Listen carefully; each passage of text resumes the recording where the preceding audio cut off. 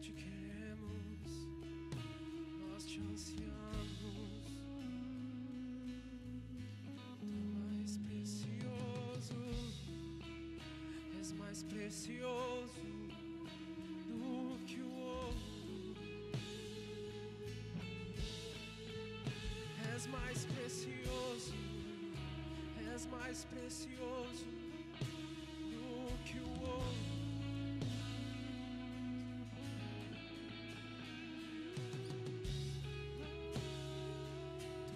pagaste um preço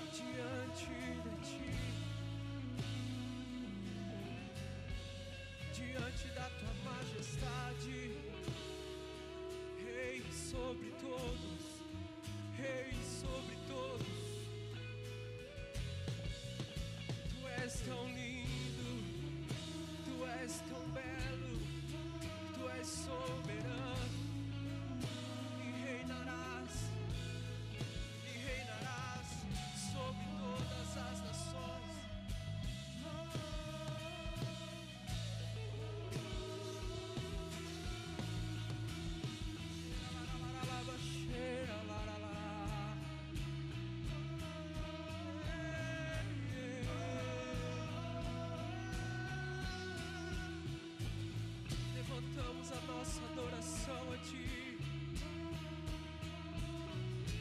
pois só Tu és digno, só Tu és digno.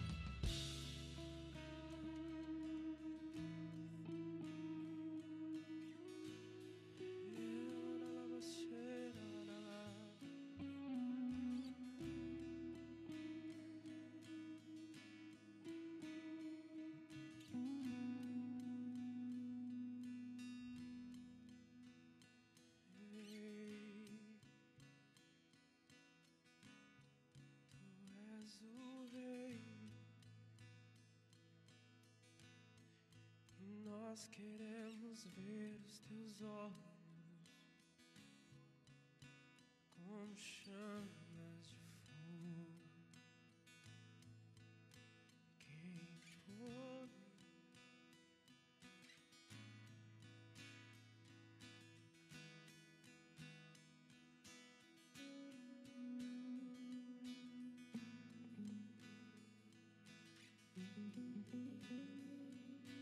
You.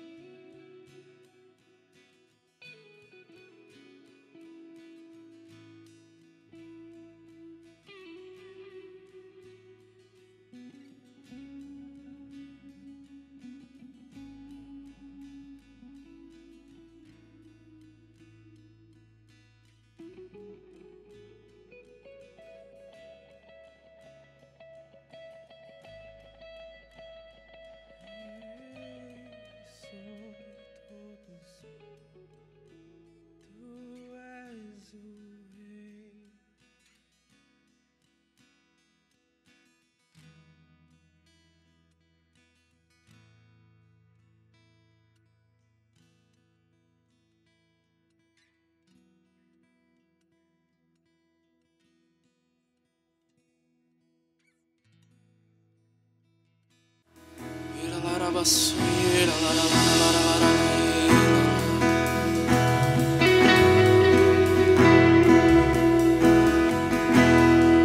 tu és digno.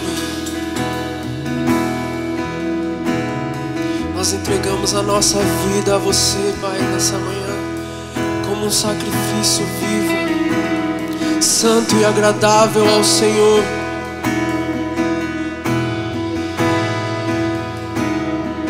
Nós sejamos essa canção pela manhã ao Senhor.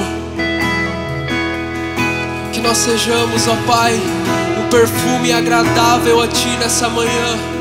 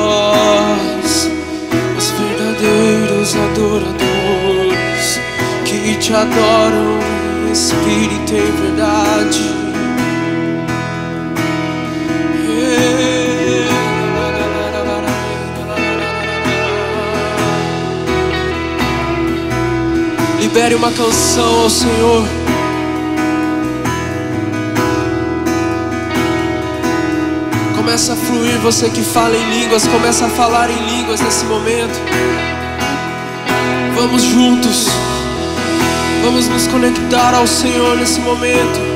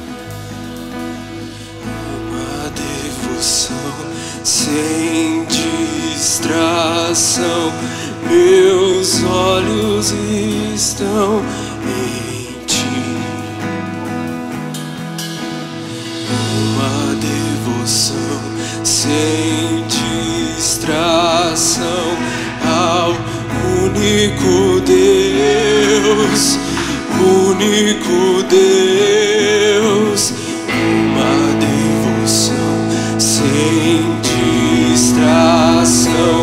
Meus olhos estão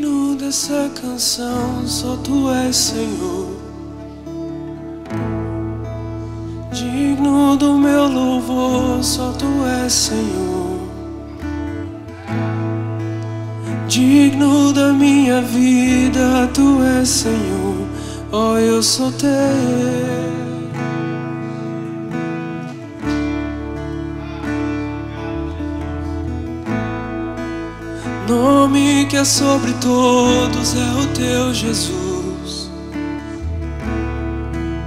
fonte da salvação, só tu és Jesus, digno da minha vida, tu és Jesus, oh, eu sou teu.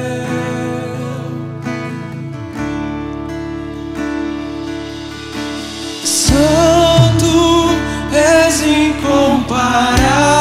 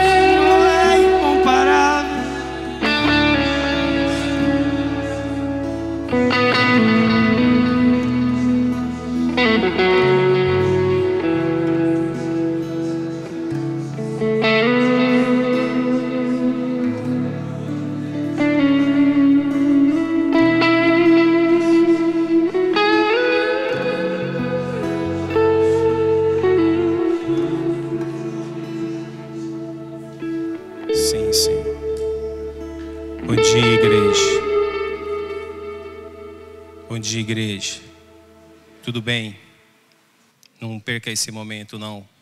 Só porque a gente vai trazer algumas palavras. Você vai ter a oportunidade agora de trazer a tua, assim como a gente vai se referir a dízimo e oferta, nós vamos chamar de contribuição regular. Depois a gente traz um fundamento bíblico para vocês.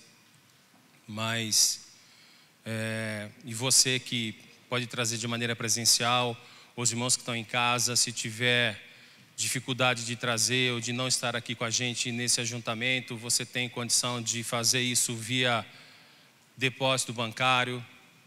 E se você precisar trazer de maneira presencial, nós estamos aqui todas, todos os dias no período da tarde para recebê-los. Amém? Então você que trouxe a sua contribuição pode trazer. Se você precisar usar o teu cartão, eu vou ficar lá no fundo porque a máquina está carregando, tá bom? Deus abençoe cada um de vocês aí, não perca esse momento no Senhor. Amém.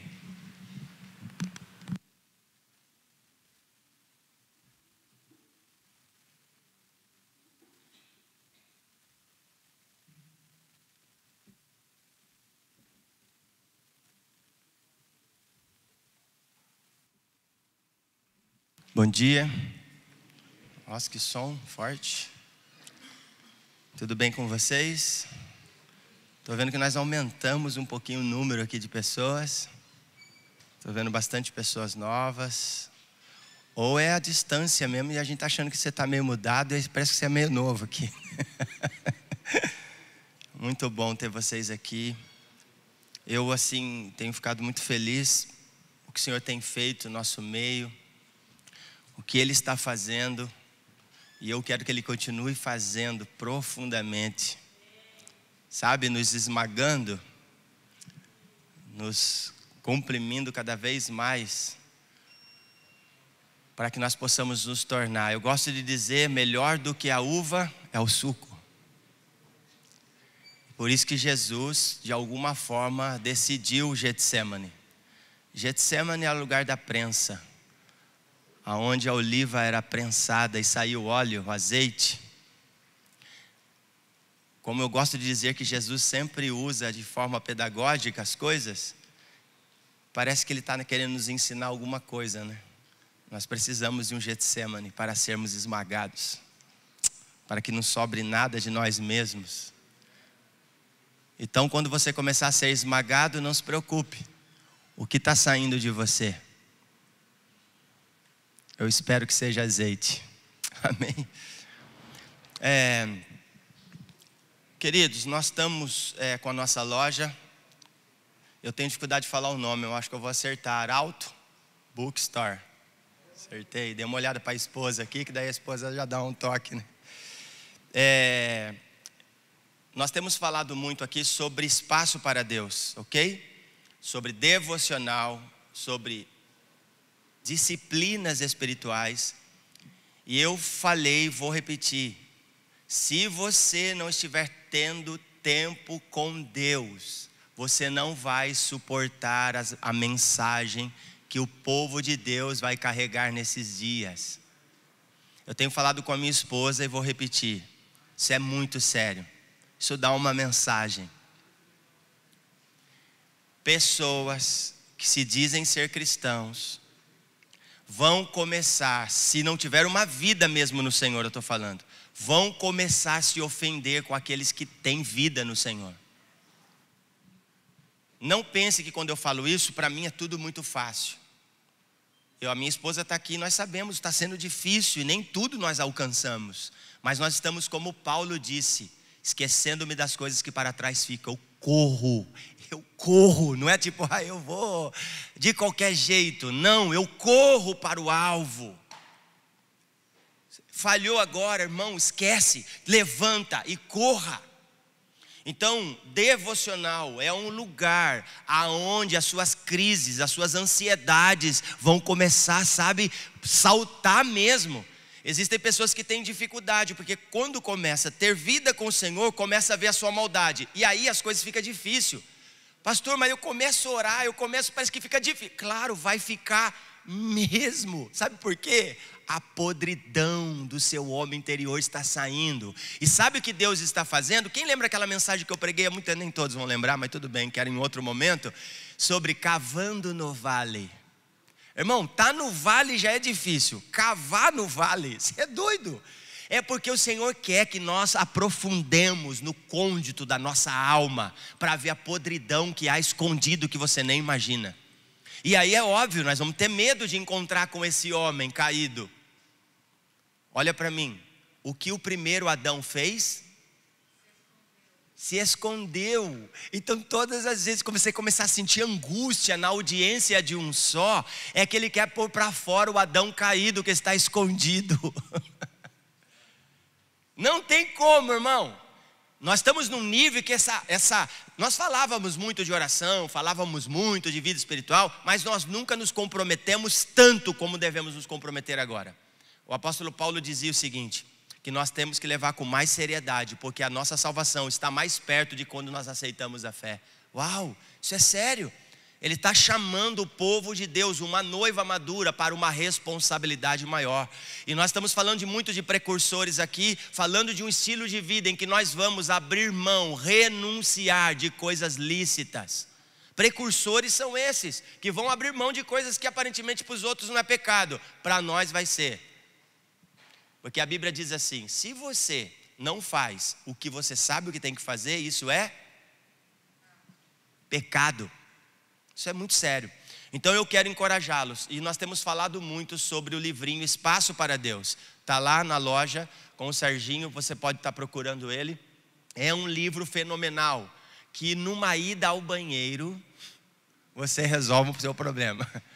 Você pega ele para ler rapidinho, sabe assim? Em vez de ficar no celular, TikTok, Instagram, sabe aquela coisinha? Vai para um livro e edifica a sua vida, ok? Vai ser demais. É, eu estou falando assim de forma meio descontraída, mas é muito sério, irmãos. As pessoas não conseguem ficar sozinhas com Deus. Um dia eu estava conversando com o Tiago, e o Tiago, segura para mim, amor.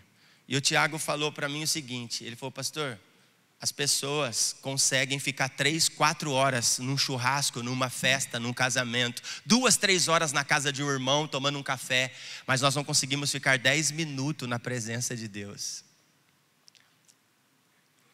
Sério isso ou não? Sim ou não? Jesus, ele vai dizer o seguinte: ficar em Jerusalém até que. Estou fazendo isso porque eu quero que vocês interagem comigo, tá bom? Somos um corpo coletivo. Até que do alto sejais revestidos de poder. E Jesus é assunto aos céus, aí eles ficam tudo encantados com Jesus subindo, aí parece uns anciãos e fala assim: Homens galileus, até quando vocês vão ficar olhando para o alto? Esse mesmo Jesus, esse mesmo Jesus que foi assunto aos céus, ele voltará, enfim. Só que é impressionante porque quando Jesus trabalha com essa igreja que está iniciando, nós chamamos a igreja primitiva, ela vai falar praticamente de um número de mais de 500 pessoas, sim ou não?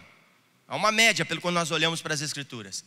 Só que quando em Atos 2, na descida do Espírito Santo, quantas pessoas tinham na casa? Quanto?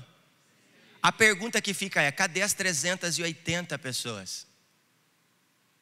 Quer que eu falo para vocês? Elas não suportaram ficar dez dias aguardando o Espírito de Deus. Elas não suportaram ficar dez dias orando. O 120 ficou permanecendo. Eu falei para o Leandro agora ali atrás. Falei, Leandro, sabe o que é gostoso ver? É que nós permanecemos numa palavra. E hoje nós vamos começar a ver o resultado e o fruto dessa palavra. É óbvio. E eu quero liberar uma palavra que eu liberei para minha filha, essa, desse, acho que foi terça-feira. Eu tenho um tempo com ela. E eu liberei para ela, acho que liberei para o Nicolas também, na quinta. Eu disse assim, e eu, e eu quero intencionalmente falar isso porque eu quero que você entenda o que estamos falando e talvez num outro momento eu pregue sobre isso. Deus deu uma palavra para minha esposa no Salmo 101 e quando ela veio abrir comigo na mesa, eu comecei a chorar, fui muito tocado profundamente e aí eu falei comigo mesmo no meu espírito: eu não vou ter amizade, por favor, ouça bem, eu não vou ter amizade com ninguém que não queira amar Jesus. E eu falei para o Nicolas, porque nós temos pessoas onde nós moramos, é num, num condomínio, então tem muita criança tal, e aconteceu algumas coisas, e eu disse assim para ele e para Nicole: nós não vamos nos relacionar e ter amizade com ninguém que não ame Jesus. Cara, isso é ser radical, pastor. É. Ah, mas nós precisamos pregar o evangelho. Eu falei, não, eu não. Aí ele falou, pai, mas eu não vou poder. Eu falei, não, você não vai deixar de amar. Eu estou dizendo sobre relacionar. Você pode amar, mas você não deve se relacionar. Aí alguém fala, mas como amar sem se relacionar? Eu te explico: Deus ama o mundo de tal maneira que deu o filho dele. Isso não implica que todo mundo vai ser salvo. Essa é a vontade de Deus, mas essa não é a vontade do homem. O homem de verdade, ele não quer ser salvo, porque ele gosta da vida que ele tem em pecado. Por isso nós precisamos entender muito sobre a questão da justificação, da salvação, da santificação, para entender esse processo. Na realidade, nós gritamos quando Deus começa uma obra em nós. Só que daí parece que isso é muito radicalismo, mas não é. Irmão, sabe por quê? Você precisa se relacionar com pessoas que amam Jesus, porque essa relação, ela tem um apontamento de aliança. Então é lógico que quando eu pego, por exemplo, o Brandon ama Jesus, eu sinto o amor dele por Jesus, eu vou me relacionar com ele, eu vou dizer, ainda assim não vai ser fácil. Agora, o que eu quero dizer que eu não vou amar pessoas que não amam Jesus é no sentido de tentar ficar levando pessoas que não querem se comprometer com a mesma causa que eu assumi. Porque não dá, irmão, você vai se arrebentar, elas vão sugar toda a sua energia. Você sabe o maior problema das pessoas? Elas não terem olhos abertos para ver. E aí você fica tentando falar para ela. E eu, irmão, nós caímos num grande perigo de ficar dando a força do braço para passar o evangelho para as pessoas. Não, mas olha, Deus está falando, eu já fiz isso, eu já fiz isso. Você se acaba e não consegue chegar em lugar nenhum. Alguém já ouviu aquele texto, acho que é Eclesiastes, se não me engano, que fala das duas irmãs chamadas sanguessuga? Quem já ouviu? Quem já ouviu? Sabe, dá, dá. Ela só quer, mas dá sua vida, ela não dá. Isso é terrível. Então eu quero encorajá-los. Compre esse livro se você não tem.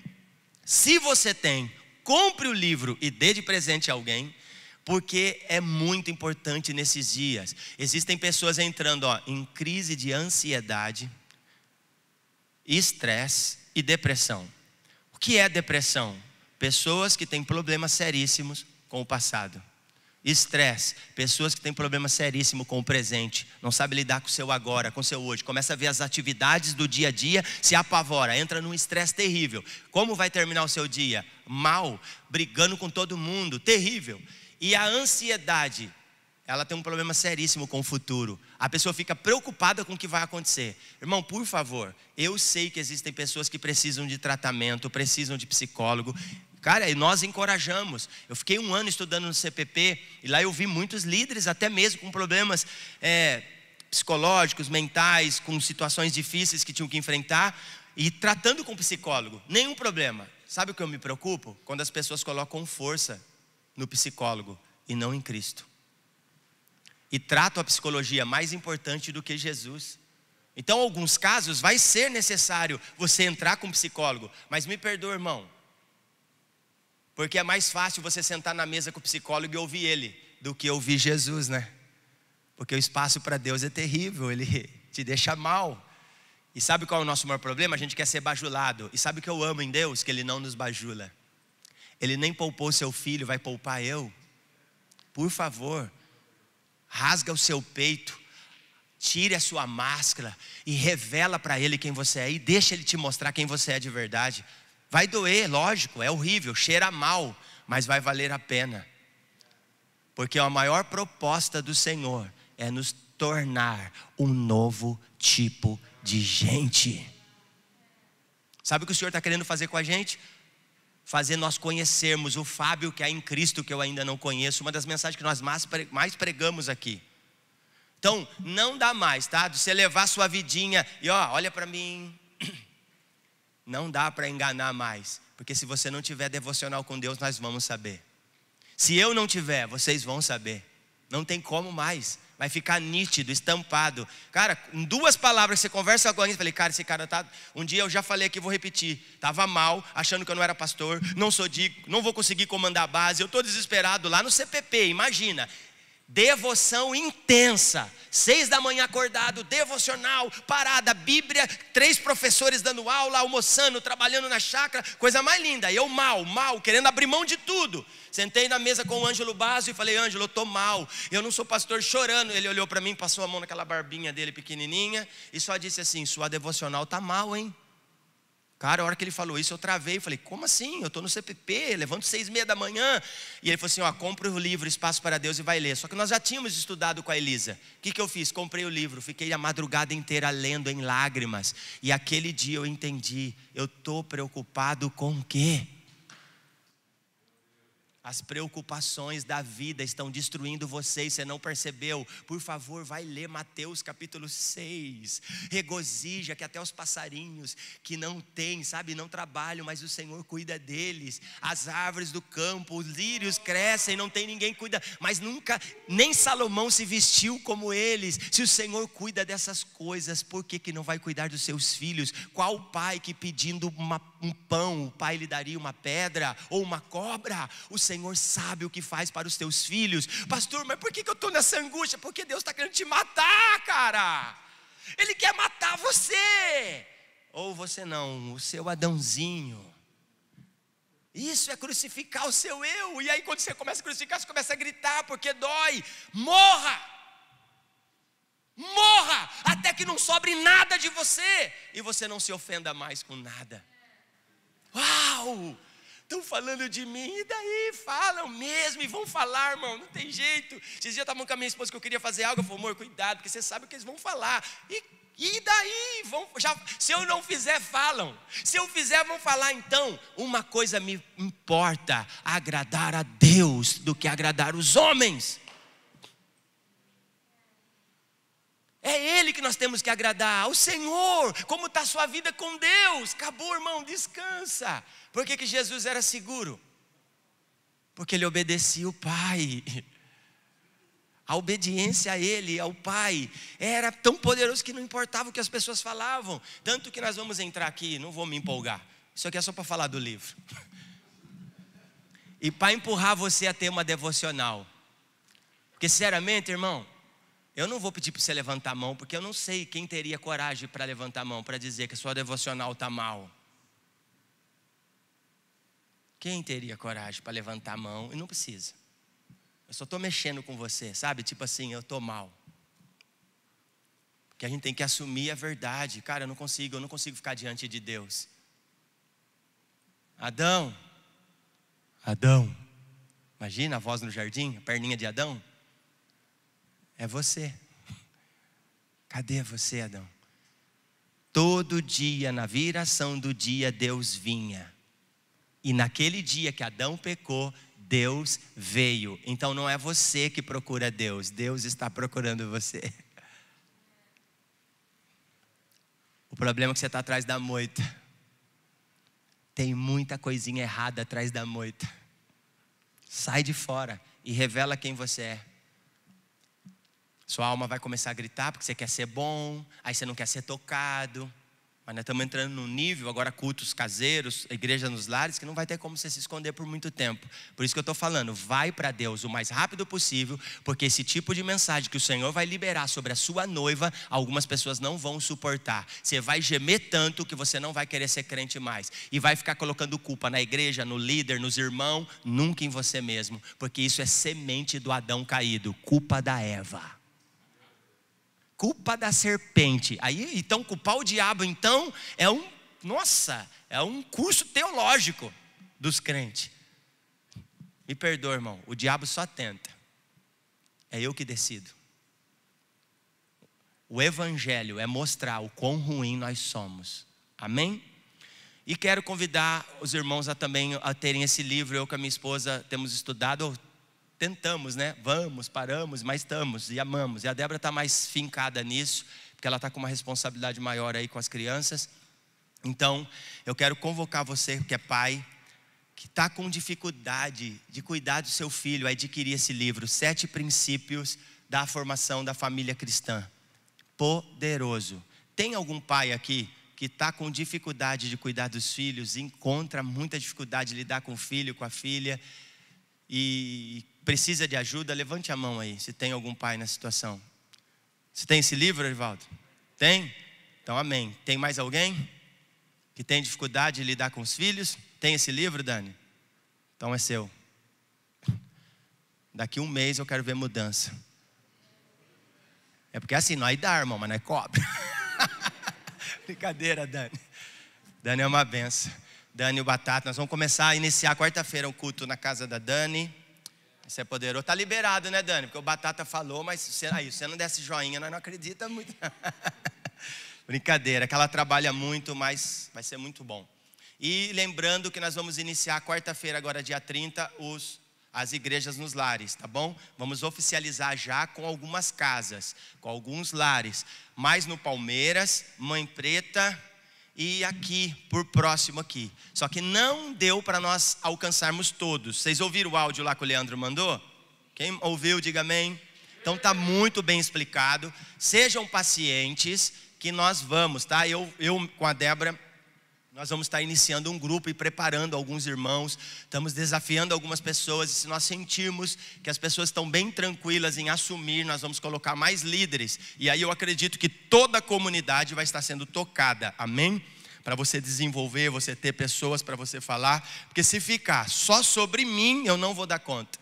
E é uma das coisas que sempre pesou para nós aqui, é que eu tentava fazer muita coisa ao mesmo tempo, e a proposta é nós voltarmos para as Escrituras e lembrar que principalmente os presbíteros precisam ficar na palavra e na oração, para que haja alimento para a comunidade. E os nossos diáconos então vão tentar cessar as murmurações entre no corpo de Cristo, amém? E vai dar certo. Então você pode procurar na loja ali depois, o Serginho vai te servir muito bem. E você vai ter, ali tem muitos livros ali, irmãos. Fiquei muito feliz de ver a loja com muito conteúdo, ok? Vamos lá, vamos abrir as escrituras. Esquecendo de alguma coisa, Leandro? Está tudo ok?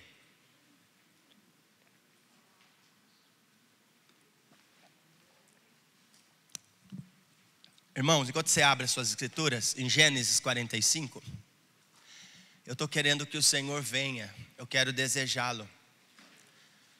E eu queria saber se você pode desejá-lo comigo agora. Nós precisamos de Jesus aqui. Sem Ele, Ele vai dizer: sem mim nada podeis fazer. Então, não tem a ver com a minha capacidade, até porque eu não sou bom. Não tem a ver com meu conhecimento, porque eu não tenho. Tem hora que eu não sei. Só Deus sabe porque que Ele me escolheu para ser o que eu sou. Isso é graça. Mas uma coisa eu quero o mesmo sentimento de Davi, a presença dele. Porque se ele não vir aqui, de nada vai valer o que estamos fazendo. E um dia nós estávamos orando em casa e eu falei para os meus filhos com a minha esposa: Ó, oh, cada um vai ouvir aquilo que Deus está comunicando. E ficamos em silêncio. E de repente a Débora falou, eu falei, aí a minha filha falou algo que eu nunca mais esqueci. Faz muito tempo, faz tempo já isso. E ela disse assim: Eu ouvi, pai e mãe do Senhor, que se nós desejarmos Ele, Ele virá. Meu Deus, começamos a chorar na sala, porque foi muito forte. Uma criança. E ela disse assim: se nós desejarmos o Senhor, Ele vem. Uau! Então eu quero dizer para você: vamos desejá-lo nessa manhã. Se nós desejarmos Ele, Ele virá. Amém? E se Ele vir, não tem problema se Ele atrapalhar toda a nossa organização aqui. Eu quero dar esse lugar que pertence a Ele, amém? Tá bom. Eu não sei se eu vou enxergar, eu estou quase crendo que não. Gênesis, esqueci o meu óculos. Gênesis 45. Acho que eu vou pedir para minha esposa vir aqui ler para mim. Por favor, amor. Pedir para você ler o texto para mim aqui. Gênesis 45, a partir do versículo 1 versão mesmo. José José não conseguia mais conter-se diante de todos os presentes. Então falou em alta voz: Fazei com que todos saiam da minha presença. E ninguém ficou com ele quando se revelou a seus irmãos. E levantou a voz em choro, de maneira que os egípcios o ouviram, bem como a casa do Faraó. Então José disse a seus irmãos: Eu sou José, meu pai ainda vive? E seus irmãos não conseguiam responder-lhe, pois estavam perplexos diante dele. E José disse mais a seus irmãos: Aproximai-vos. E eles se aproximaram. Então prosseguiu: Eu sou José, vosso irmão, a quem vendestes para o Egito. Agora não vos entristeçais, nem guardeis remorso por me terdes vendido para cá, pois foi para preservar vidas que Deus me enviou adiante de vós. Porque já houve dois anos de fome na terra, e ainda restam cinco anos sem lavoura e sem colheita. Deus enviou-me adiante de vós para vos conservar descendência na terra e para vos preservar a vida com grande livramento. Assim não foste vós que me enviastes para cá, mas sim Deus que me colocou como pai do Faraó, como senhor de toda a sua casa e como governador de toda a terra do Egito. Apressai-vos, subi a meu pai e dizei-lhe: Assim diz teu filho José: Deus me colocou como senhor de toda a terra do Egito Desce a mim e não te demores. Pode assentar, querido. Uau, que texto. Parece que nós demos uma guinada para o Antigo Testamento, né? Falando sobre simplicidade a partir de Jesus. Nós utilizamos o texto de Mateus, capítulo. Quem lembra? Qual foi o texto base? Vamos ver. Um, dois, três. Mateus 11, 29. Amém? vamos tentar relembrar aí que é muito importante. Nós falamos do jugo, lembra? Vinde que o meu jugo é suave, nós trouxemos toda uma clareza. Eu não vou ficar entrando, porque eu percebi que os dois cultos online ficou meio repetitivo, né? Você viu o mesmo assunto. Só que foi bom, porque daí é para ficar bem claro. Então nós não temos desculpa falar, ah, não lembro, porque nós estamos batendo numa tecla, ok? Só que por que, que eu li de forma intencional esse texto. Porque José, de alguma forma, tipifica Cristo. Alguém que foi humilhado, mas depois exaltado.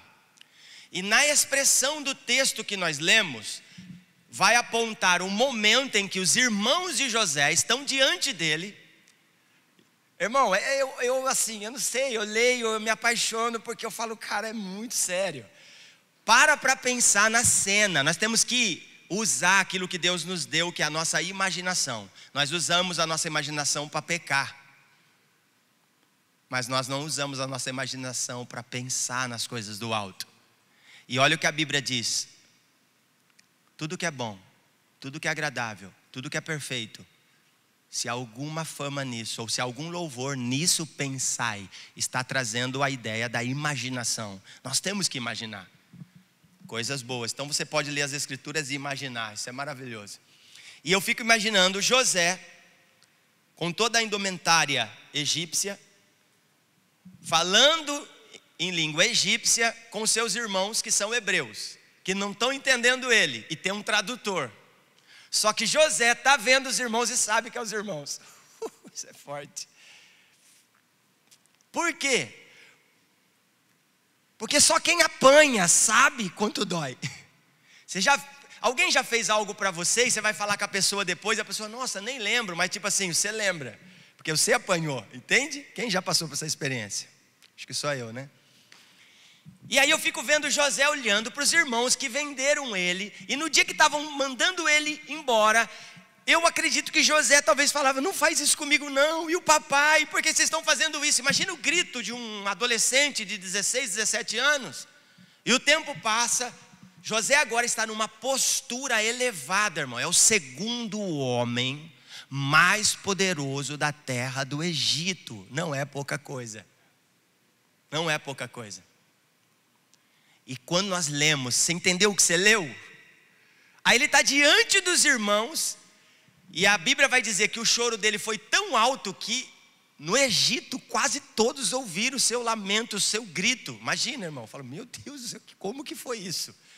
Tem coisa que a gente não consegue captar, né? Nem imaginar, mas foi isso que aconteceu, porque a Bíblia está dizendo e eu creio nela. Só que é interessante que José chega um momento, e eu não vou entrar em detalhe, que não é minha proposta falar do texto, mas é só para fazer essa abertura, que quando ele arranca a sua indumentária e ele vai se revelar, ele vai dizer: Eu sou José. Irmãos, que cena deve ter sido aquilo, por causa da postura que esse camarada agora ocupa. Percebe se isso não tem a ver com o que nós estamos falando em voltar à simplicidade? Percebe que não é o cargo que eu ocupo, não é o quanto de dinheiro que eu tenho que me faz ser orgulhoso ou que me faz ser simples? Quem me entende? E na postura que José está, nesse exato momento, ele consegue entender. Ele não tem uma mente de humilhar os irmãos. Ah, lembra do meu sonho que eu vi onze, eu vi os feixes de a lua, as estrelas e os feixes de trigo se prostrando diante de mim. Aí, tá vendo? Agora chegou. Você não vai ver nenhum momento. Eu acredito que nem passa isso na mente de José. Mas José conseguiu compreender que o que estava acontecendo era o cumprimento do seu sonho, que tem a ver com os planos eternos do Senhor. E quando José vê aquela cena, ele consegue entender: olha, irmão, por isso que eu falo, o coração. Ele conseguiu captar a tal ponto, Natália, a tal ponto que ele se posiciona e diz: irmãos, fiquem tranquilos, não fiquem sentindo mal com vocês mesmos. Meu, coisa poderosa. José consegue discernir o coração dos irmãos. Ele percebeu que os irmãos iam ficar mal por aquilo. Tipo, pensou que morreu, mas eu estou aqui, agora um homem poderoso. Não, não, irmãos, não fiquem maus. Vitor, isso é demais. Isso é demais para nós entendermos o que é voltar à simplicidade. E ele aplaca isso no coração dos irmãos e fala: Eu sou José. E fiquem tranquilos, não foi vocês. Ah, irmão, vê se isso aqui não é um coração saudável. Que coração saudável é esse? É isso que nós estamos orando para que o Senhor venha sobre nós. Está diante, Renato, de pessoas que fizeram mal para ele, seus próprios irmãos. Ele está dizendo: olha, fiquem tranquilos, vocês não são culpados, não vai vir nada contra vocês, vocês não estão entendendo. Tudo o que aconteceu foi permissão divina. Olha agora, Deus me trouxe na frente, precursor. José é um precursor que está trazendo o um apontamento para Cristo, um homem simples, que vai dar a vida por todos, que é o unigênito do Pai, mas agora em Romanos é o primogênito entre muitos irmãos. Cara, a postura de José traz um apontamento de quem é Cristo. Cara, isso é poderoso. E ele não imputa nenhum mal sobre os irmãos, mas consegue entender que agora o que ele está vivendo foi propósito de Deus, porque dias difíceis estavam para chegar. Preste atenção, dias difíceis estavam para chegar. O que nós estamos vivendo hoje? A Bíblia diz que está para acontecer uma coisa chamada o grande e terrível dia do Senhor. Percebe a importância de ter precursores? Entenda a importância de nós assumirmos os jugos de Cristo e não o nosso próprio jugo? Percebe a importância de entender o custo da humildade? Eu estou, ó, em poucas palavras, eu trouxe toda a mensagem que estamos pregando para nós compreendermos onde nós estamos. E quando eu li Gênesis capítulo 45, eu falei: Uau, José entendeu, Senhor, que o Senhor traga espírito, sabedoria e revelação entre nós, para que nós possamos entender, irmãos, não dá mais, se queremos voltar à simplicidade e ter corações ofendidos, não dá mais, por favor, vira para o teu irmão aí, vai, vamos fazer essa mensagem tocar as pessoas, não se ofenda mais, diga para ele: não se ofenda mais, não se ofenda mais mais, não há espaço para ofensa mais. Ai meu Deus do céu, sabe, dá vontade de parar aqui e começar a orar. Sério, irmãos, olha, a câmera vai ter que seguir, eu estou empolgado.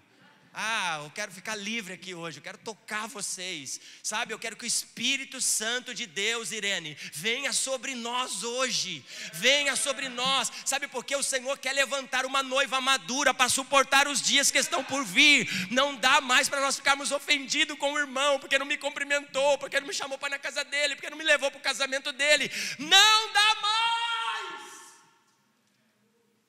Vamos levantar os nossos olhos, porque é uma história muito mais linda sendo construída. Nós não somos o centro do universo. Nós não somos a bolachinha ou a última bolachinha do pacote. Olha para José, pelo amor de Deus, e vê um homem que está diante dos caras que fez mal a ele. Fica tranquilo, irmão, vocês estão perdoados. Quem fez isso? Quem nos perdoou?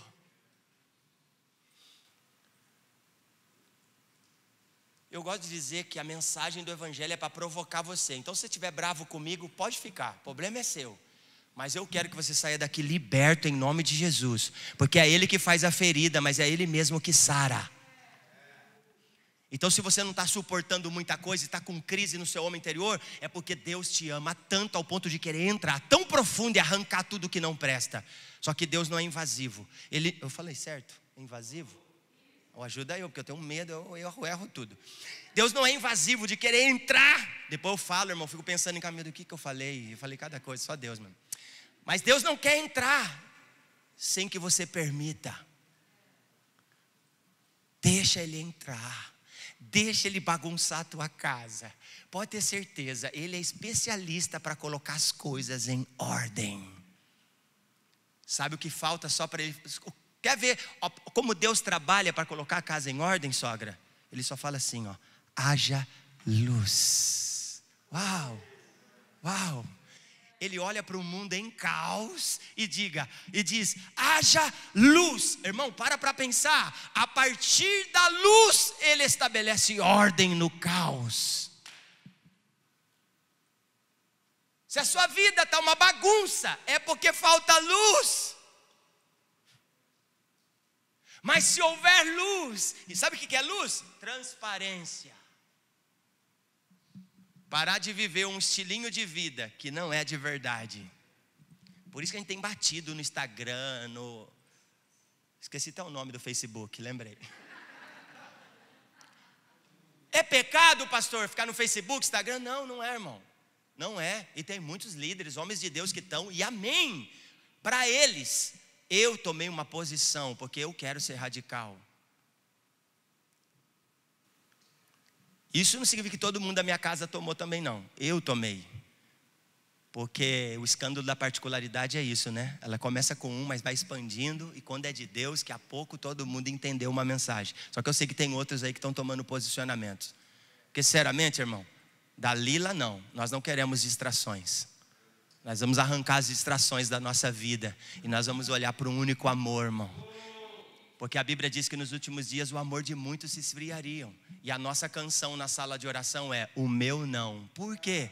Porque nós não vamos tirar os nossos olhos do nosso único amor. Nós abrimos mão de tudo por um único tesouro. Por um único tesouro. Ah, isso vai custar. Não tem problema, que custe. Ah, mas daí ninguém vai saber o que você está fazendo. E daí? Eu não preciso disso. Eu não quero que ninguém saiba o que eu estou fazendo. Eu quero que as pessoas saibam o que Cristo está fazendo a obra é dele, não é minha. Não é sobre eu ter um lugar lindo, bonito e maravilhoso. E uma... eu, eu amo, eu abençoo os meninos que trabalham com a mídia. Isso de alguma forma edifica, toca pessoas. Mas, sinceramente, eu não quero me preocupar mais com isso. E talvez chegue um tempo que nem nós vamos mais utilizar disso. Até porque vão tentar tirar isso de nós, né? E quando tentarem tirar de nós, não vai ter problema nenhum. Já tiramos do coração há muito tempo. Cuidado com este sistema maligno. O príncipe deste século está entrando dentro da sua casa sorrateiramente.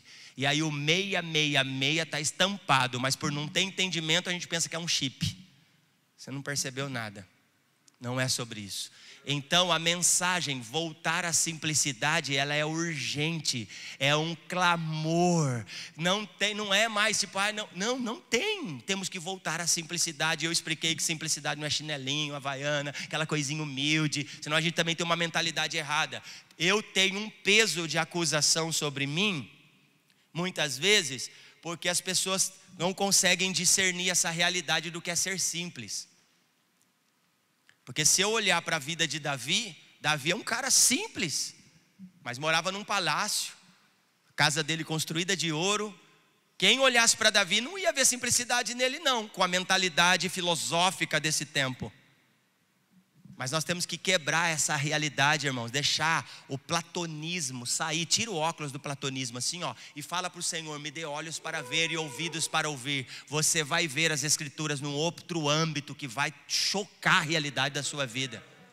Nós vamos ser libertos de nós mesmos, sabe? E o fato de falarmos o que estamos falando, isso custou. Por isso que voltar à simplicidade e ter uma vida de humildade custa não é de graça, ok? Tem alguém comigo aí? Então, queridos, o dinheiro faz homens ricos, sim ou não? O conhecimento faz homens sábios. A humildade faz de pequenos homens homens grandes. E os homens estão atrás de riqueza e os homens estão atrás de conhecimento, mas ninguém está preocupado em ter uma vida simples. Porque a simplicidade, Irene, nos faz andar contrário à pregação que o mundo está nos dando. Qual é a mensagem de hoje? Você consegue, vai ser feliz. O que atrapalha a sua vida arranca, vai, importa é você conseguir. Sabe, irmão, não tem fim. Escuta, essa mensagem não bate, a conta não fecha, porque sabe o que dá a entender? Que você, eles estão ampliando o Adão caído, tipo, você precisa continuar independente, vai, permanece nessa linha, nesse raciocínio do homem caído, mas não é essa mensagem que nós queremos, nós estamos pregando uma mensagem que nós temos que morrer para nós mesmos, porque nós vamos prestar conta um dia. Não tem outro caminho. Para aqueles que querem realmente ser salvo, só há um caminho e Jesus deixou isso bem claro, bem nítido. Então, essa mensagem de fazer você ficar bem e você sentir bem no lugar que você está, me perdoa, Paulo vai chamar de outro evangelho. O evangelho de Cristo causa um impacto que o coração queima, a ponto de fazer com que a gente não durma. Se você está dormindo bem nesses dias, por favor, vai ter espaço para Deus então, para você não dormir. E por favor, eu não estou querendo dizer que você não tem que dormir bem, gostoso e saudável, não é sobre isso. É fazer com que o seu eu se preocupe no sentido de que você precisa se arrepender todo momento da sua vida, que você precisa entrar. Sabe que eu tô, quando eu falo nesse, eu vou explicar, tá? Porque eu gosto de deixar as coisas bem claras.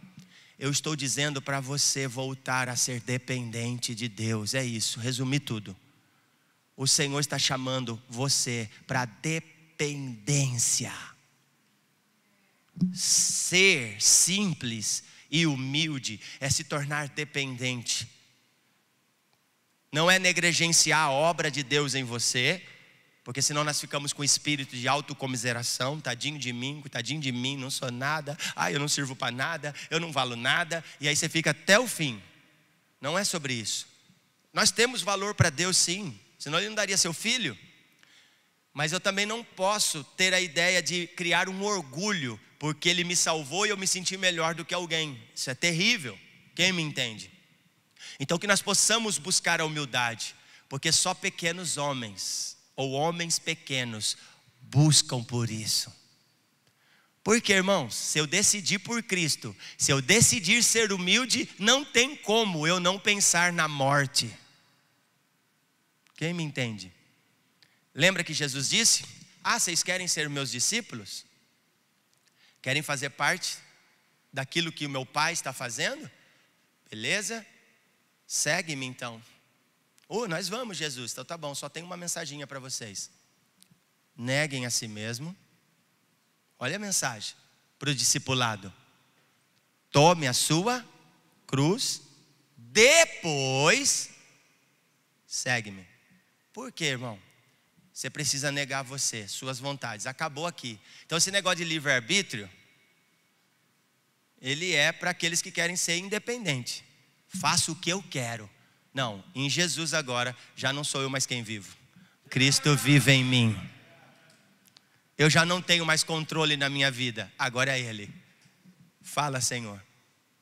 Fala que o teu servo ouve. Que eu preciso fazer? Paulo vai dizer que ele é escravo de Cristo. E Paulo tem orgulho disso. Paulo vai dizer que ele é prisioneiro de Cristo, porque Paulo não estava preso por causa de Nero, ou por causa de um imperador qualquer, por causa de Agripa. Não, Paulo estava preso por causa do Evangelho. Uh, Irene, isso é forte. Isso é ter uma vida humilde. E não é porque Paulo se achava, ele não se achava nada. Olha, Paulo é tão poderoso que ele não se achava nada. Sabe o que ele achava dele? Que dos apóstolos ele era o menor, e dos pecadores ele era o maior. Olha o pensamento de Paulo. Isso é uma vida voltada, Vitor, à, à, simplicidade. O cara vê ele, ó, eu sou um apóstolo, sou o menor. Pecador entre todos, eu sou o maior. Sabe o que Paulo está dizendo?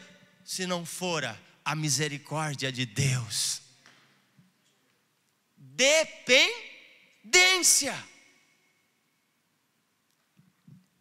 Seja humilde pois até o sol com toda a sua grandeza se põe e deixa a lua brilhar. Achei bonitinha essa frase. Falei, eu vou falar ela. Minha esposa está falando para mim tomar água, vou obedecer. Por isso que é bom ter a esposa por perto, irmão. Entendeu? O sol, com toda a sua grandeza, ele sabe se esconder para que chegue o tempo da lua o Senhor usa a natureza para nos dar lições, sim ou não? Então, falar do custo da humildade é falar do caráter, a imagem de Cristo. Não tem como. Falar de humildade é necessário nós expressarmos o caráter a partir da imagem de Cristo, que tem que estar em quem? Em mim. E Jesus deu exemplo profundo sobre isso. E fica tranquilo, o Senhor vai vir sobre nós, tá bem? Ele era humilde, pois era santo e disso não se orgulhava, pelo contrário, servia. Sim ou não? Lembra da bacia? Lembra sempre servindo as pessoas, até mesmo na cruz. Quem crê que ele serviu nós na cruz? Precisamos matar a raiz de todo pecado e orgulho. Deixe o Espírito Santo edificar a verdade em seu coração. Estou correndo aqui porque eu já falei isso enquanto eu falava aí, andando no meio de vocês.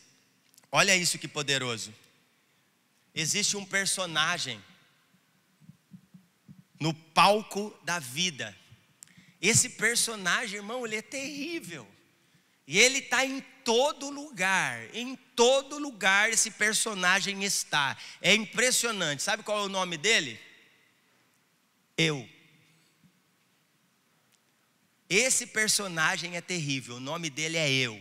É um personagem muitíssimo exigente. Sim ou não? Requerendo o melhor, sempre querendo se assentar no melhor lugar, sempre querendo a melhor comida, sempre querendo ser o primeiro, sempre querendo sair na frente. Será que está batendo?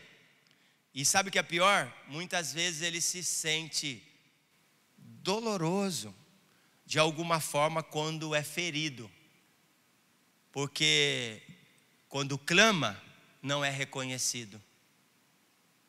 Quem será que é esse eu mesmo? Fala assim, eu.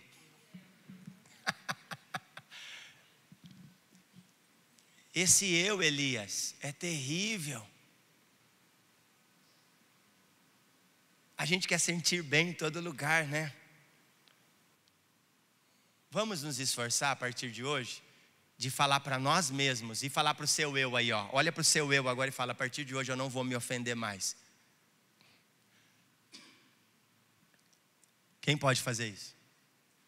Eu não vou me ofender mais. Olha o que Jesus vai dizer, nós vamos ler, mas eu vou pegar aqui para você entender. Sendo Deus, sendo Deus, não se usurpou ser igual. Aí não tenho vontade nem de pregar mais. Antes, olha agora, a si mesmo se humilhou.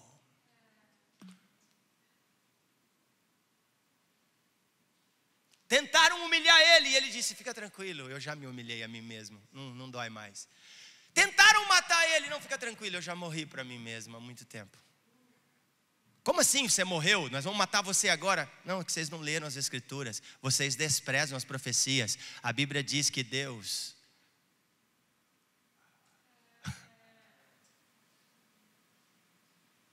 ofereceu um sacrifício antes da fundação do mundo.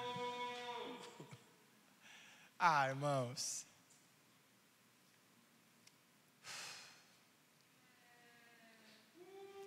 Espírito Santo está vindo aqui.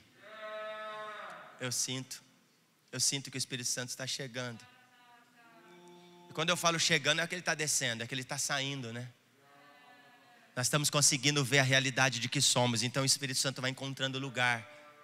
No meio do caos, o Espírito pairava sobre a face do abismo. Quando não sobrar nem forma e nada de você mesmo, o Espírito vem. A terra era vazia e sem forma, e o espírito pairava, isso é, se movimentava na face do abismo. Sabe o que eu estou querendo dizer? Que quando você não tiver forma e ficar vazio de você mesmo, o espírito vem, ele sai, ele vai sair com força e ele vai tomar um ambiente aonde ele vai elevar a nossa razão, o nosso sentido. Ele vai tirar toda a mentalidade que foi construída quando você era criança, quando você era pequeno, até mesmo de líderes religiosos que falaram coisas que não eram a verdade sobre Deus e criaram criaram um Deus que não existe. E que você acha que adora, e esse Deus nada mais é do que você mesmo. E aí a gente se sente ofendido com a igreja. Eu estou assim porque a igreja fez isso comigo. A igreja de Cristo não. A igreja não. E se você está assim, é porque você não foi tratado. E hoje Ele vai sarar você, porque Ele vai descer profundo. Ele vai arrancar as mágoas, o ódio, e vai derramar sobre você os frutos do Espírito.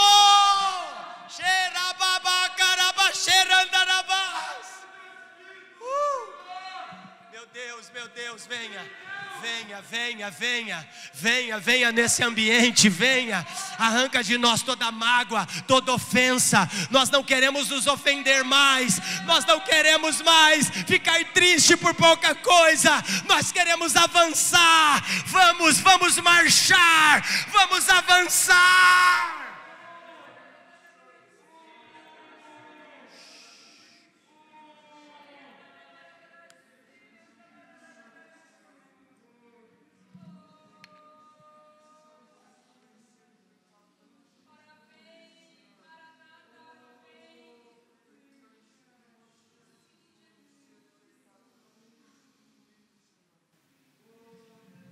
Irmãos, eu gastaria tempo orando agora por todos nós.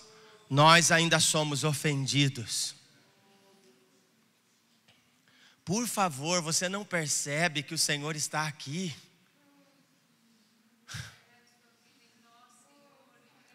Por isso, irmãos, me perdoa, nós não vamos ficar preocupados se as pessoas não quererem, quererem firmar os seus pés com Cristo. Cara, não cabe a mim, meu irmão, por favor, a obra de convencer o homem do pecado não é minha. Não é minha. Não consigo falar para o Daniel, Daniel, se arrependa, sua vida de pecado. Eu estou, eu posso proclamar. O que, que é proclamar? Falar do evangelho a ele, a partir do meu testemunho. Mas eu não posso falar para ele, muda de vida, Daniel. Você precisa mudar, você precisa fazer isso. Não dá, não dá. Eu posso até tentar, mas é força do braço. Mas o Espírito convence o homem do pecado da justiça e do juízo. Então escute, escute. Cara, eu vou falar algo poderoso, você precisa entender. Se o Espírito não convencer o Daniel, não me resta mais nada. Sabe o nosso problema que a gente sofre? Que a gente fica forçando. Só que daí você desgasta, você desanima, você fala: ah, ai, Jesus não é comigo, eu não tenho, porque se fosse aquele pastor viesse aqui, ele ia ouvir. Nada, irmão, ia ouvir nada. Que pastor o quê? Que líder o quê? Pelo amor de Deus. Lógico que eu creio no ofício pastoral, eu creio no ofício profético, eu creio no ofício de mestre, eu creio no ofício de evangelista. Lógico, Deus usa esses homens, mas Deus usa eles para quê? Para edificação do corpo. Ele usa esses homens para edificar os que amam Cristo. Não é para salvar ninguém, não. É para melhorar, é para aperfeiçoar o corpo. Nós precisamos entender isso, nós não ficamos debatendo. Os cinco ministérios é para isso. Por favor, leia Efésios 4:11. Deus deu homens de presente à igreja. Para que através do ministério homens sejam aperfeiçoados. Irmão, o que é ser aperfeiçoado? significa que eu tenho algo e ele é aperfeiçoado a partir disso. Então o Espírito convence ele, ele se arrepende e o ministério entra e edifica e aperfeiçoa. É isso.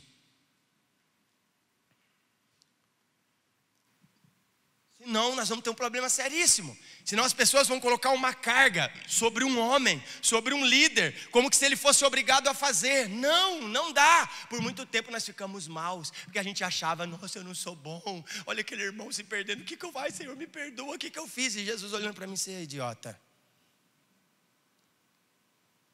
Você está sofrendo à toa. Um dia o Senhor falou comigo, eu falei, nossa, peraí se eu tivesse a missão, guarde isso, de convencer o Daniel do erro dele, e o Daniel não se convertesse e fosse para o inferno, com certeza, e todo mundo soubesse que eu tenho a missão de convencer o homem, o que, que as pessoas iam falar? Que eu? Que eu? Falhei. Ah lá, o Daniel foi, o Fábio tem a missão de convencer ele. O Fábio falhou, óbvio, ia cair em cima de mim. Aí eu falei, Senhor, então, se tem um monte de gente não se convertendo, você falhou, Espírito Santo. Aí um dia eu preguei uma mensagem assim, ó: O Espírito Santo falhou na sua missão? Pare e pense. Se as pessoas não estão se convertendo, então o Espírito Santo que tem essa missão está falhando? A resposta é não. Então por que, que as pessoas não se convertem? Por causa da dureza do seu coração. E aí tem um clamor nas escrituras profundo: não endureçais o coração quando ouvirdes a voz de Deus. E aí as pessoas estão preocupadas com o divórcio. Ah, mas e quem que vai ser a mulher fulano de tal, porque ela passou por tantos maridos? Jesus fala, ah, aí Jesus fala assim, não, mas aí Jesus dá uma palavra, aí eles ficam assim, é, mas Moisés dava carta de divórcio, por que, que a gente não pode ter? Jesus fala assim, porque na realidade foi necessário Moisés fazer isso por causa do que mesmo? por causa da dureza do coração de vocês. Irmão, por favor, não endureçais o coração quando ouvirdes, Renato, a voz de Deus. Meu Deus, meu Deus. Não tem o que fazer, Patrícia. Não tem. Não tem. Se nós não nos rendermos. Por isso que um coração contrito e quebrantado não desprezará, ó Deus. Amém, queridos? Dá para sentir essa realidade? Cara, percebe que o Evangelho é simples. Vamos ser sinceros, nós complicamos demais, porque a gente fica tentando buscar um monte de resposta. Cara, sabe, o maior problema do ser humano? Ele é cheio de argumento. Esses argumentos são filosofias, são ideias, são projetos humanistas. Vou repetir: lixo que entrou dentro de nós. E sabe o que fez com a gente? Nos cegou. Ficamos andando assim, ó, por aquilo que ouvimos e não pelo aquilo que vemos. E eu falei semana passada e repito, por isso Jesus curava os cegos, para mostrar um tipo de gente que não conseguia ver, e ele queria falar para Israel: Israel, é assim que vocês estão. Não era para ser um curandeiro, irmão, pelo amor de Deus. Não era para ficar fazendo campanha na igreja, sete dias de. Pra, ah, que que é isso? Está de brincadeira comigo? Estou que nem o da Tena aqui já. Não dá. Não dá para ficar atrás de campanha, irmão. Fala que Deus é esse que eu preciso fazer campanha para Ele fazer as coisas para mim. Cuidado com uma mensagem que está aí muito fácil. Nós precisamos voltar, irmão, para essa realidade da simplicidade. E eu convoco vocês a ver essa realidade em nome de Jesus. A maioria das discórdias entre cristãos surgem do protesto desse gigante chamado eu.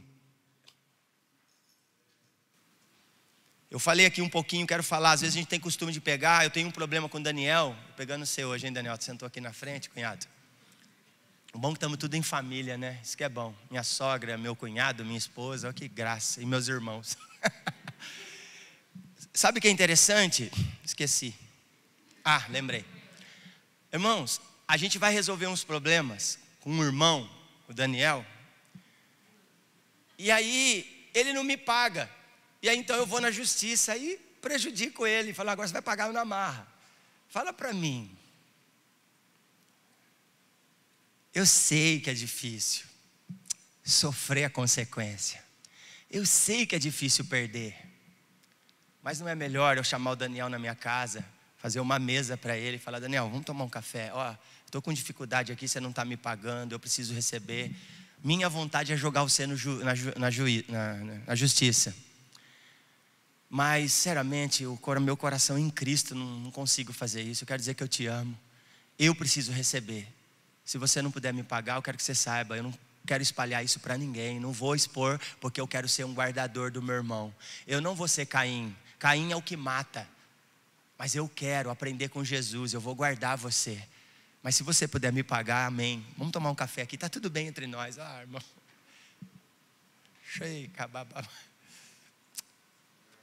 É gostoso falar, né? Não é bonito, não soa gostoso aqui a pregação? E aí seu coração bate aí dentro e fala: Nossa, é verdade. Agora pensa em fazer isso. Por isso que eu falo: a teoria é muito da hora, a prática ela é terrível. Mas quando você faz isso, você está morrendo.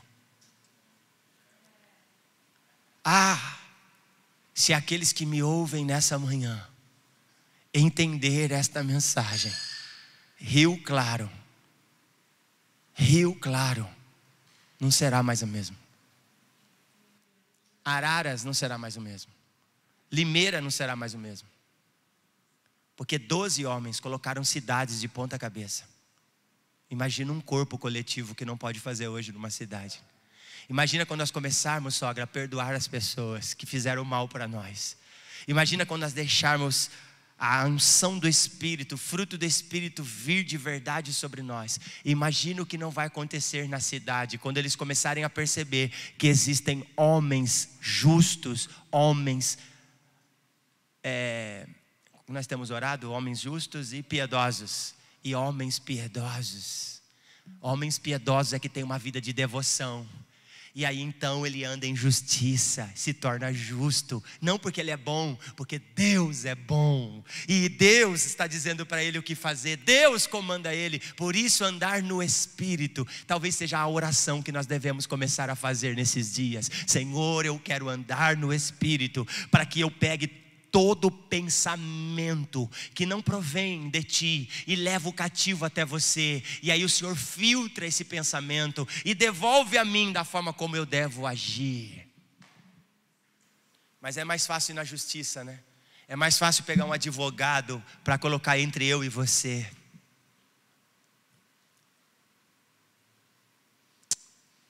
Eu acho que nós não precisamos de um advogado entre eu e você. Nós precisamos do Espírito. Por que o Espírito, pastor? Porque o advogado vai nos separar cada vez mais. O Espírito vai nos unir cada vez mais. E vai fazer com que nós nos tornemos irmãos de verdade. Ah. E isso aqui vai tocar a cidade. Isso é testemunho. Isso é ser mártire. Isso é morrer para mim mesmo. Então, ser mártir não é quando o anticristo chegar. Ser mártir é agora. Porque se você não consegue morrer agora, não vai morrer amanhã. com uma 12 na sua cabeça. Porque o Espírito não está em nós. Mas se o Espírito está em nós, então nós nos ajustamos. E assim como Deus esquece do meu pecado, agora, Daniel, eu esqueço do que você fez por mim. Está perdoado. Voltemos à simplicidade.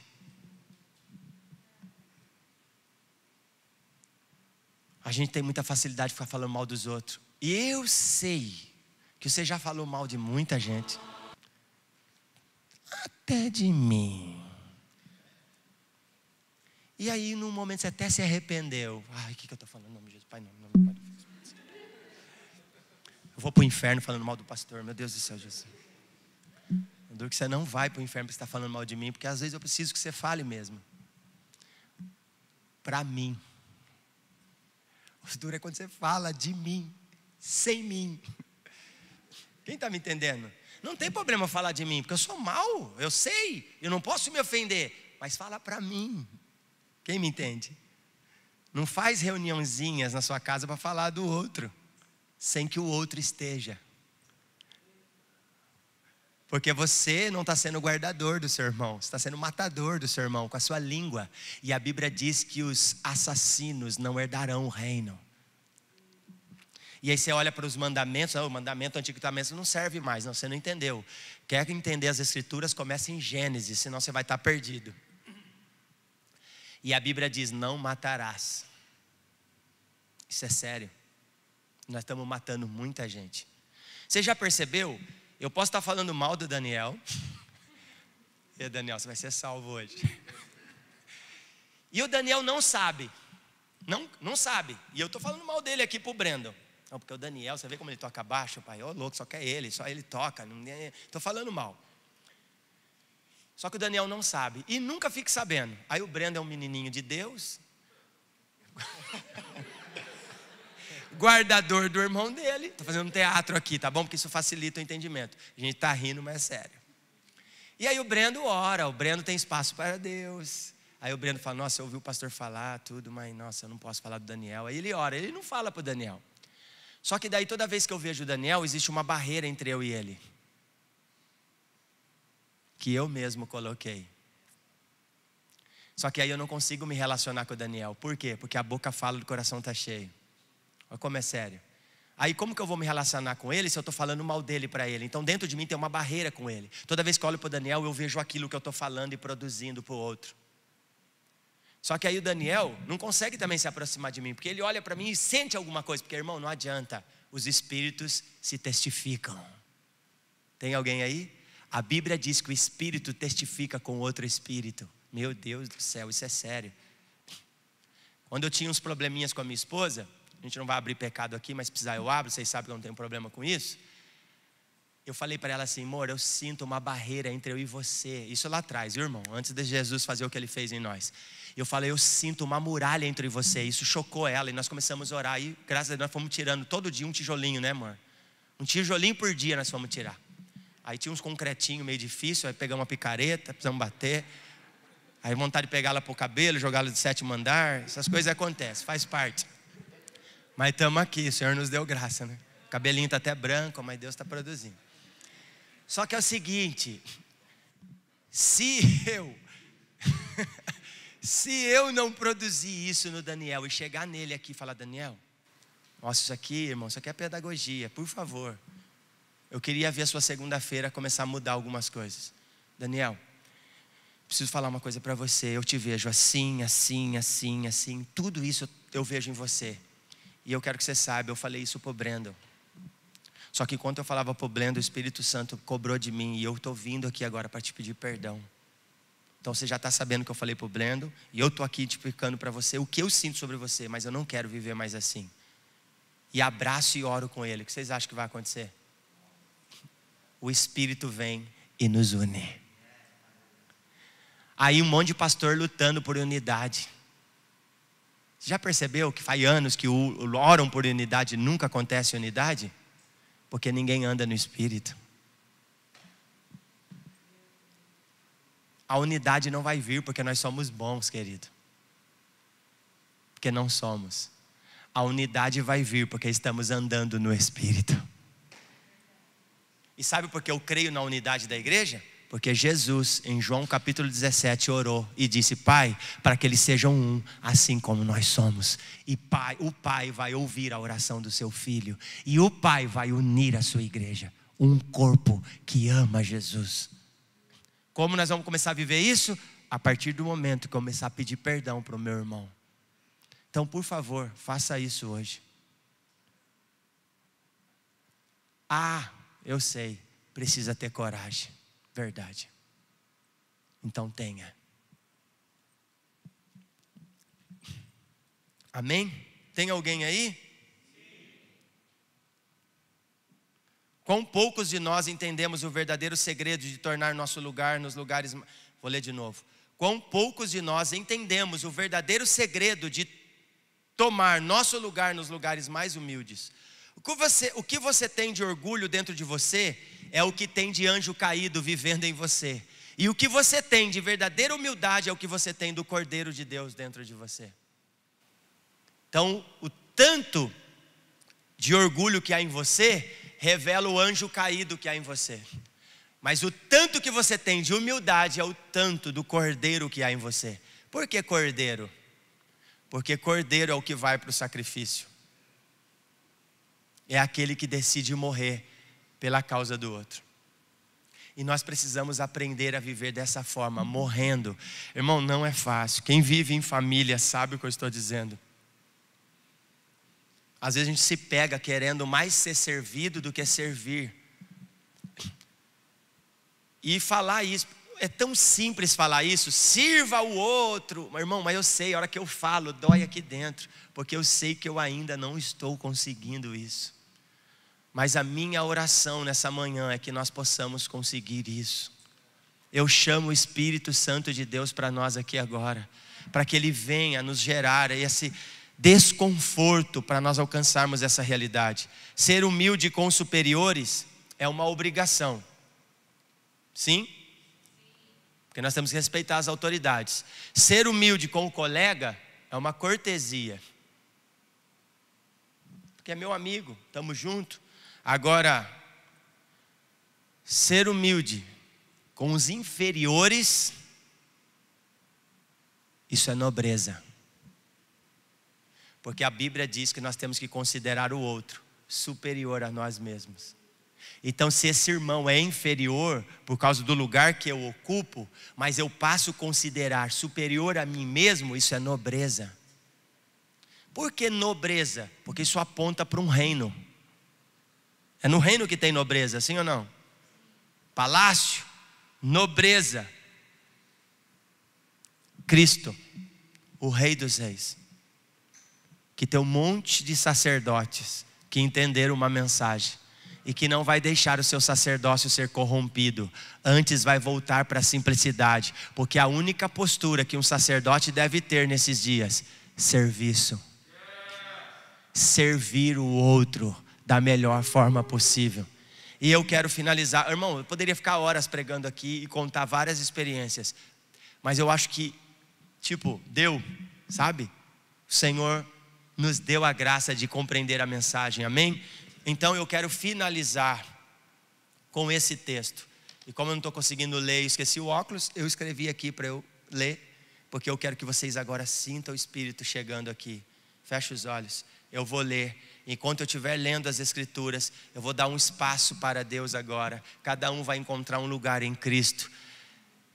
Leandrinho, fica atento aí, assim que eu acabar, vamos trabalhar juntos aqui. Eu vou ler o texto de Filipenses, capítulo 2, do 1 ao 11, e eu intitulei esse texto como A grandeza de Cristo é encontrada em sua humildade. Por estarem unidos com Cristo. Por estarem unidos com Cristo. Vocês são fortes. O amor dele, de Jesus, os anima. E vocês participam do Espírito de Deus que nos une. Uau! E também são bondosos e misericordiosos uns com os outros. Então, peço que deem a grande satisfação de viverem em harmonia, paz, tendo o mesmo amor e sendo unidos de alma e mente. Não façam nada por interesse pessoal ou por desejos tolos de receber elogios, mas sejam humildes e considerem. Por favor, gaste tempo pensando nessa palavra sobre considerar, ela tem um peso. Considerem os outros superiores a vocês mesmos, que ninguém, que ninguém procure somente os seus próprios interesses, mas também os dos outros. Meu Deus, nos ajuda. Tenha entre vocês o mesmo modo de pensar que Cristo Jesus tinha. Aqui é a chave. Ele tinha a natureza de Deus, mas não tentou ficar igual a Deus. Pelo contrário, ele abriu mão de tudo que era seu, abriu mão e tomou a natureza de servo, tornando assim igual, meu Deus, igual aos seres humanos. Renúncia, abriu mão de ser Deus para se tornar um homem. E por favor, para sempre, existe um judeu agora à direita de Deus Pai, um homem encarnado. E vivendo a vida comum de um ser humano, ele foi humilde e obedeceu a Deus até a morte morte de cruz. Por isso, Deus deu a Jesus, uau, a mais alta honra. Por isso que eu li Gênesis 45, José estava tipificando a honra que o próprio Filho de Deus receberia, um homem que governaria e governou o Egito inteiro, isso aponta para Jesus. Deus deu a Jesus a mais alta honra e pôs nele o nome que é o mais importante de todos os nomes para que, em homenagem ao nome de Jesus, todas as criaturas do céu, na terra, no mundo dos mortos, caiam de joelhos e declarem abertamente que Jesus Cristo é o Senhor, para a glória de Deus Pai. Uau!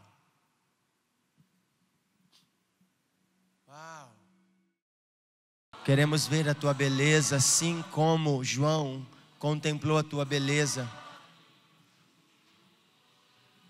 Nós queremos ver tua beleza, nós queremos ver quem você é, por isso queremos voltar, Pai, o mais rápido possível à simplicidade. Sabemos do custo da humildade.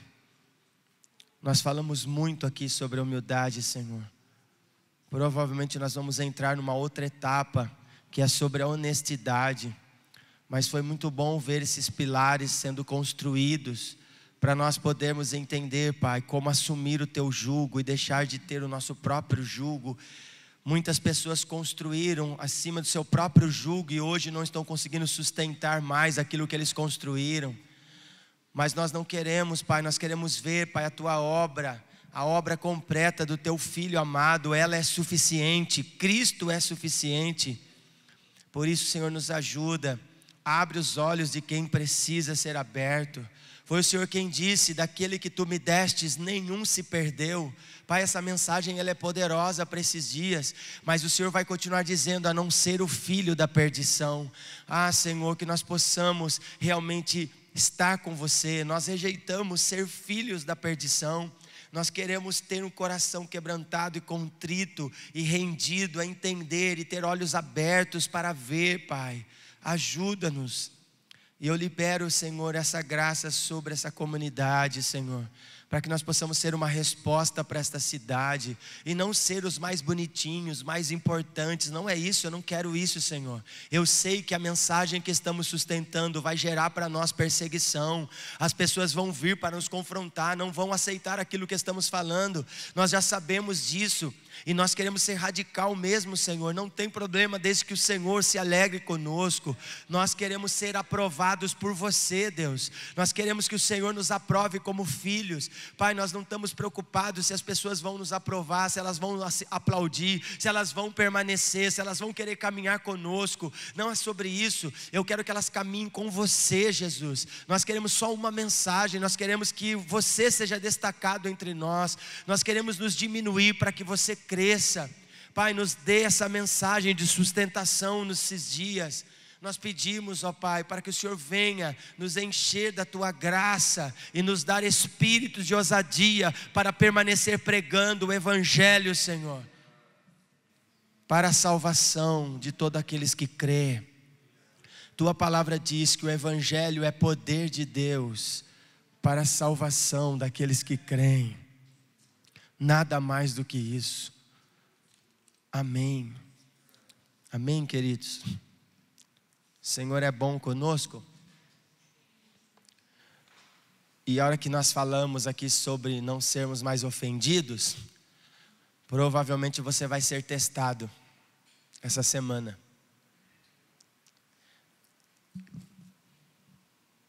Já deu meu horário, senão eu ia contar uma experiência para vocês. Mas quem sabe semana que vem, se eu lembrar, eu conto porque o Senhor vai colocar algumas pessoas à prova. Sabe por que Deus vai provar você? Porque Ele quer te aprovar. Ele não vai te. Ele não, eu confundo as palavras, peraí. Ele não vai te provar porque Ele quer te reprovar. Ele vai te provar porque Ele quer te aprovar. Então guarde bem isso. Nosso Deus é um Deus bom mas ele precisa ir mais profundo para revelar a maldade que há em nós. Amém? E a Bíblia diz que por mais bonzinho que você pareça ser, a sua justiça é um trapo de imundícia.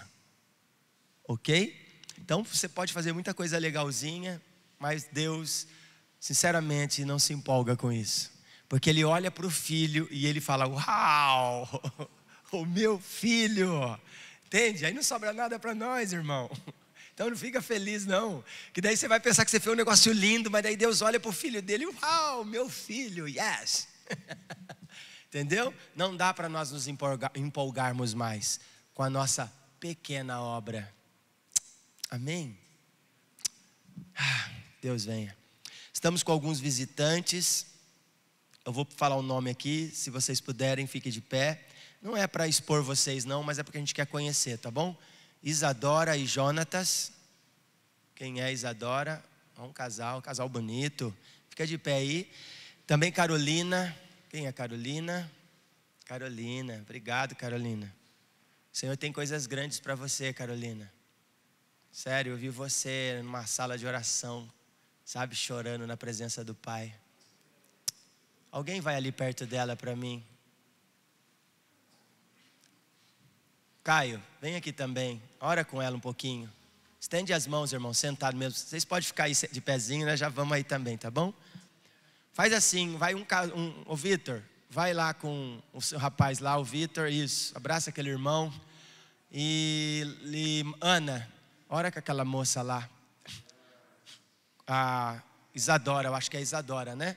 Isadora e o Vitor com Jonas. Sim, Senhor. Nós oramos sobre esses irmãos.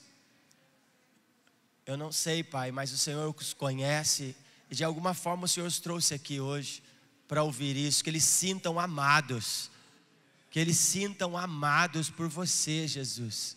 Nós só estamos replicando a eles o teu amor, que eles sintam amados, que eles sintam agora abraçados pela comunidade, abraçados pelo Cristo que nós derramemos sobre eles o nosso amor, Jesus.